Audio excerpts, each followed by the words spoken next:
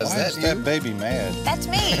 That was probably eight months in this picture. What you got, Bill? Behind the anchor desk. Yeah, you got the same hair. baby hair then. Still got that baby, Baby face. hair now. There's probably the best picture anybody ever took of me. Before you had a mustache. it was the last picture taken. Before your Pre mustache. Senior portrait. First official headshot for broadcast. I haven't changed at all, No, official anchor tie. you still wear that tie? I still have that tie. It's a clip on. Early days at WKRG. Full beard. And those glasses are coming back.